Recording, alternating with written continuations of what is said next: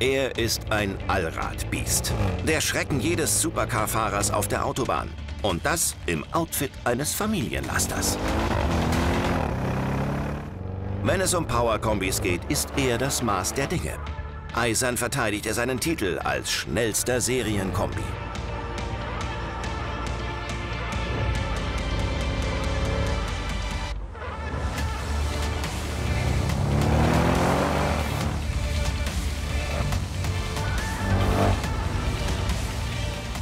Der Kompromiss zwischen Supersportler und Familienkutsche gelingt im RS6 perfekt.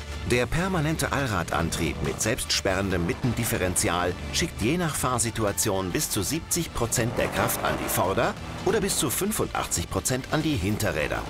Also ist von Vorstadtkombi bis Driftmonster alles drin. Understatement wird beim RS6 großgeschrieben. Das Design unauffällig und zurückhaltend.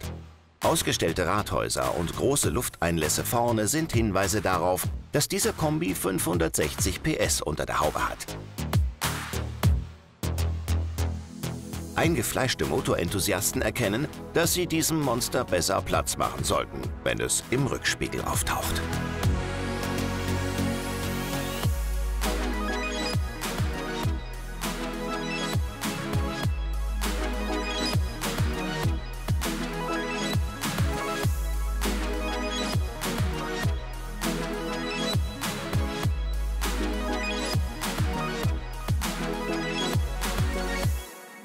Audi-typisch findet sich im Innenraum alles, was man von einem Premium-Kombi erwarten kann. Hochwertige Materialien, Carbon-Akzente, Sportsitze. Nach Wunsch gibt es eine Bang & Olufsen Surround Sound Anlage mit 15 Lautsprechern. Aber beim RS6 lohnt es sich auch einmal das Radio auszulassen und stattdessen dem hier zuzuhören. Hält man nur knapp vier Sekunden den Fuß auf das Gaspedal, steht die 100 auf dem Tacho.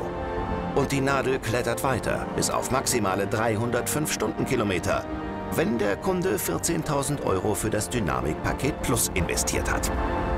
Die kommen zum Grundpreis von 107.900 Euro dazu. Ja, es ist übertrieben und es ist nicht zeitgemäß. Aber es ist ein fast erhabenes Gefühl, wenn einen 560 PS und 700 Newtonmeter nach vorne ziehen. In einem Kombi. Aber das ist nicht das Ende der Fahnenstange. Das Performance-Paket setzt dem Audi die Kirsche auf die Sahne. Der King of Kombi bekommt da seinen letzten Schliff. Mehr Power, mehr Zug, noch mehr Testosteron.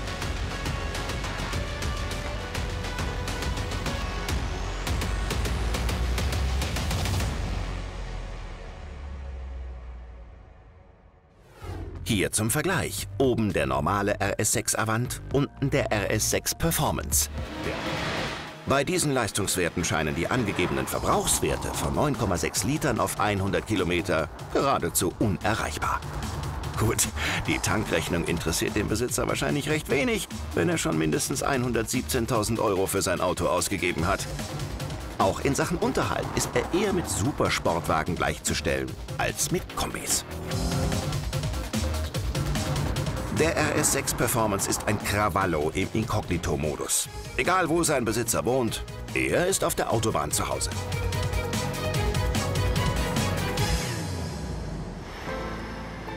Aber auch ein RS6 muss seinen Besitzer mal heimbringen.